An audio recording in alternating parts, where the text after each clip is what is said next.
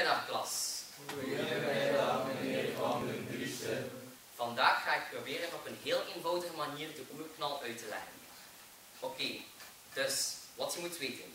Bij de oerknal is de ruimtetijd ontstaan. Dus alle ruimte die we zien, die komt eigenlijk uit die oerknal. Bij de oerknal kunnen we eigenlijk spreken van een kosmische inflatie. Dat wil zeggen dat na de oerknal het heelal enorm veel groter is geworden.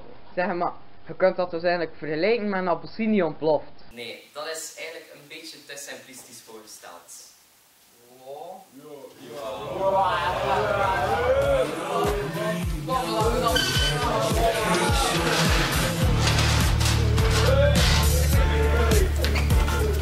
We don't need no thought control.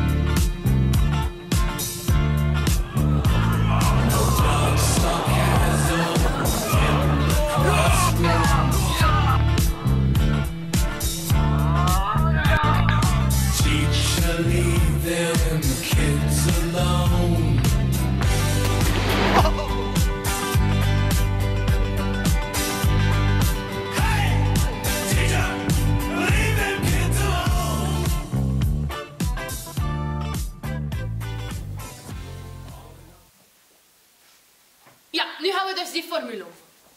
Massa maal molaire massa tot de min eerste plus b kwadraat min 4ac is gelijk aan delta x maal vierkantswortel min e maal lichtsnelheid, lichtsnelheid kwadraat maal massa min vierkantswortel lichtsnelheid kwadraat maal massa kwadraat maal molaire massa tot de min eerste op seconde verheven tot lichtsnelheid kwadraat maal massa. Dus massa op molaire massa plus b kwadraat min 4ac is gelijk aan delta x maal vierkantswortel min e maal lichtsnelheid kwadraat maal massa min vierkantswortel lichtsnelheid kwadraat maal massa kwadraat maal molaire massa tot de min eerste op seconde verheven tot lichtsnelheid kwadraat maal massa.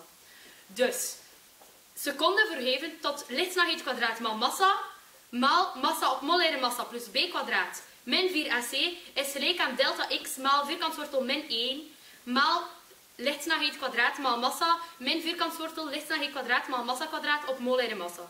Dus seconde verheven tot energie maal aantal deeltjes plus discriminant is gelijk aan lengte maal imaginair getal maal energie min vierkantswortel energie maal aantal deeltjes.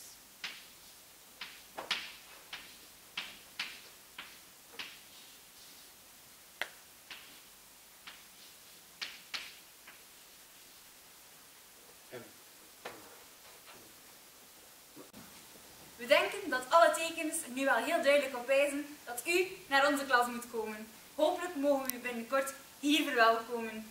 We don't need no education.